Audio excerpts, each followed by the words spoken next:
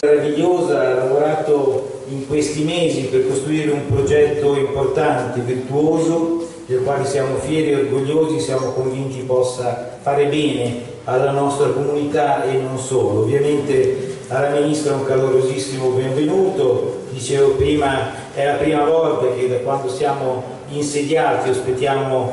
un Ministro della Repubblica ed è molto importante, io credo che questo primo momento nasca attorno ad un progetto di questa natura che accoglie e raccoglie parole alle quali vogliamo molto bene per noi fondamentali. Poi a essere in grado di mantenersi e spesso mantenere i figli perché ci ritroviamo molto spesso che gli uomini, i padri dei, dei bambini eh, non pagano gli alimenti proprio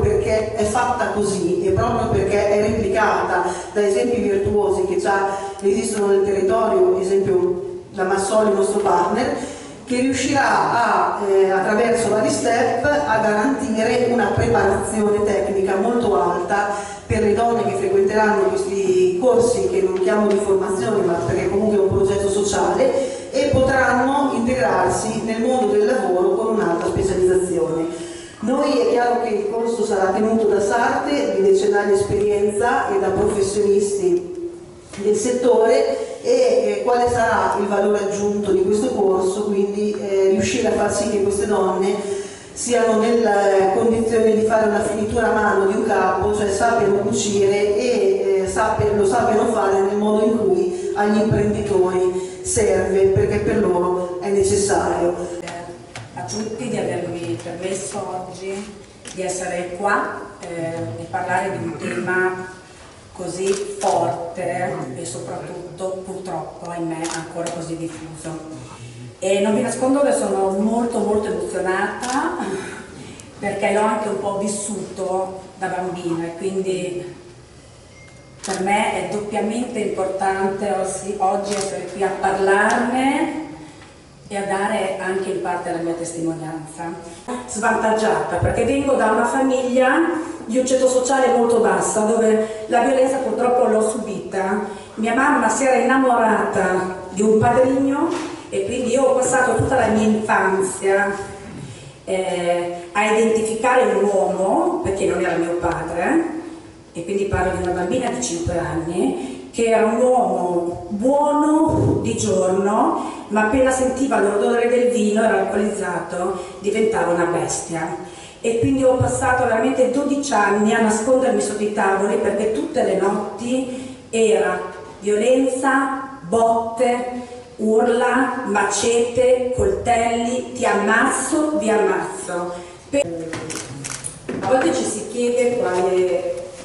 cosa possiamo fare, qual è il compito delle istituzioni, qual è il compito di una città, qual è la responsabilità di una città? E, e quale concretezza noi possiamo dare alla nostra volontà, alla nostra volontà di dare una risposta, di, di, di incontrare vite, di restituire prospettive e speranza. Allora eh, mi permetterà Elisabetta, io credo che l'immagine di quella bambina sotto un tavolo di notte da sola che si domanda il perché, ecco quello è il grido delle, che viene dato alle istituzioni, il nostro compito è permettere ad ognuna di quelle bambine ferite, ferite da bambine, ferite da adulte, di poter trovare un perché, ma soprattutto di poter trovare una porta da aprire, una comunità che al di là di questa porta li sa accogliere e soprattutto offrire una speranza di concretezza, una prospettiva di vita per loro, una prospettiva di vita possibile. Ecco perché o la comunità tutta intera si convince di questo, o le istituzioni insieme al terzo settore, insieme alle forze dell'ordine che svolgono un ruolo straordinario, non solo di protezione e di raccolta della denuncia, ma di educazione alla dimensione civica e sociale, quel tema di una società che si dà delle regole di convivenza positiva e all'interno di queste regole sa proteggere e custodire tutte le persone, soprattutto le persone le più fragili ed è vero che le persone le più fragili non sono solo quelle dei ceti più poveri, perché la solitudine, la schiavitù delle donne è proprio davvero permea tutti i livelli sociali. C'è un dato che è devastante. Nel 2020 il lockdown ha avuto un effetto benefico che è quello di aver diminuito i reati, questo lo dicono i dati del Viminale, tranne uno, quello della violenza contro le donne, che è aumentato come percentuale ed è aumentato il numero di richieste. Allora significa che la violenza contro le donne è un crimine così radicato che nemmeno l'interruzione delle relazioni sociali ha saputo interrompere, anzi lo ha amplificato perché ha interrotto quei legami invece di comunità, di prossimità, di sicurezza che un po', un po' a volte possono attenuare. E allora su quei legami che noi dobbiamo lavorare. Dignità,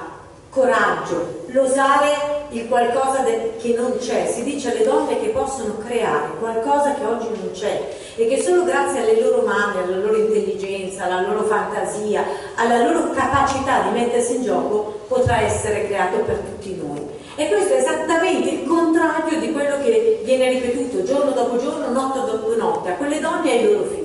Ecco perché è un'arma davvero straordinaria, io credo che abbia una potenzialità questo progetto molto forte, molto forte. Quindi lo riconosco come eh, davvero